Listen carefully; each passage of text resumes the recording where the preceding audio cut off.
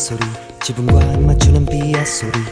오랜만에 입은 코트 주머니 속에 반지 손틈새 스며드는 메모리 며칠 만에 나서 보는 밤의 서울 고인 빗물은 작은 거울 그 속에 난 비틀거리며 아프니까. 나는 한쪽 다리가 짧은 의자. 둘이서 쓰긴 작았던 우산 차가운 세상에 섬 같았던 우산. 이제 너무 크고 어색해. 그대 곁에 늘 젖어있던 왼쪽 어깨 기억의 무게에 고개 숙여보니 버려진 듯 풀어진 내 신발끈. 허나 곁엔 오직 비와 바람. 여전히 없다. 우산을 들어줄 사람 and I cry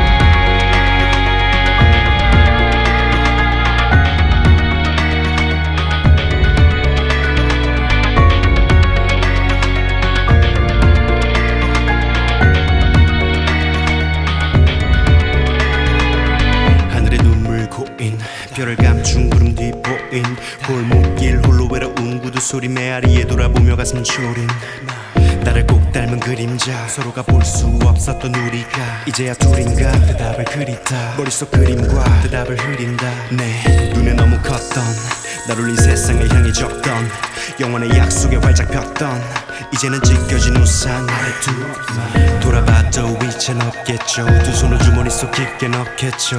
이리저리 자유롭게 걸어도 두 보린 가랑비도 쉽게 젖겠죠